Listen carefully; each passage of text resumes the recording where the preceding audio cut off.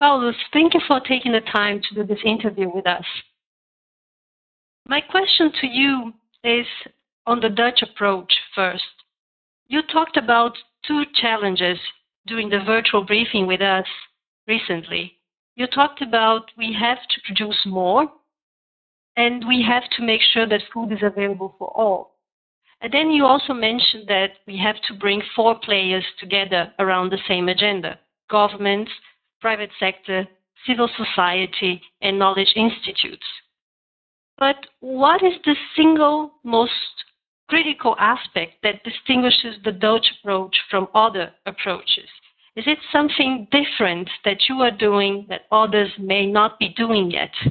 Um, well, I can't say it may be very different from what others do, but the, uh, the Dutch have a history in achieving a consensus, working together. Eh, I mean, if you are to be successful, you need a good plan, good resources, and a good mindset, a collective good mindset.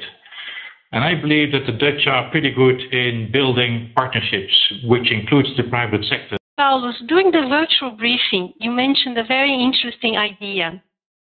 You said that in the development world, we should be seeing people more as consumers. Can you please elaborate a little bit more on that? Well, we have a tendency to leave out, I mean, the people we're talking about. Uh, so we tend to leave out, we talk about all sorts of processes and value chains and, uh, and, and models, and we tend to forget that these people, which are poor and I would say underserved, are not included in our thinking process.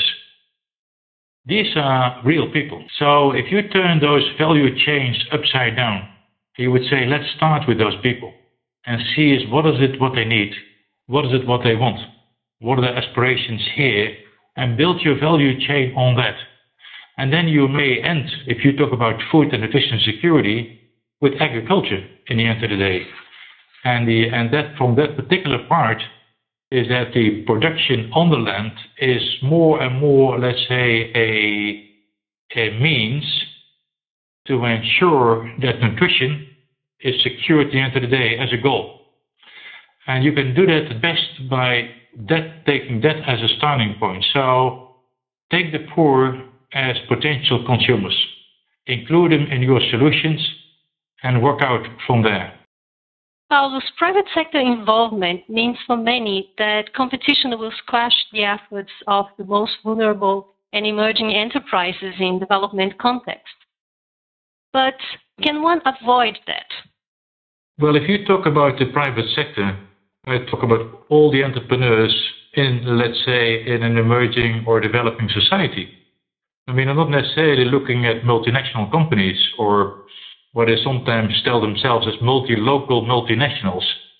Uh, they do serve, I think, an important position in taking leadership, but I'm looking also to the small and medium enterprises in emerging societies here to allow them actually to do their business. And that may include even, let's say, entrepreneurial farmers. I mean, farmers which are going to the market and sell their stuff.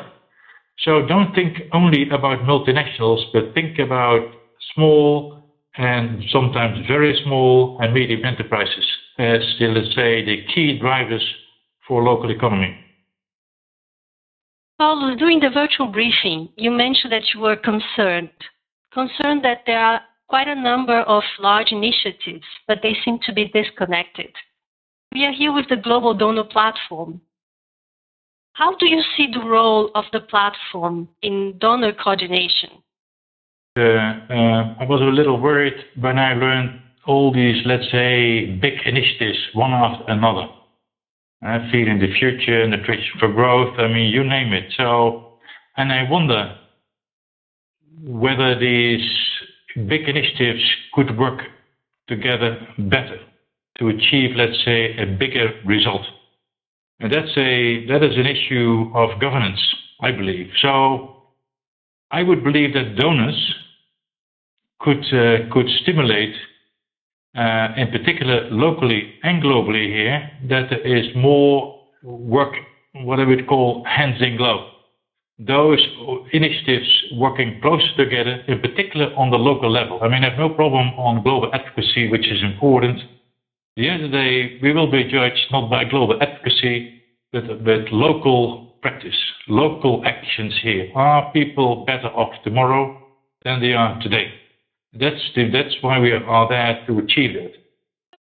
Thank you very much, Paulus.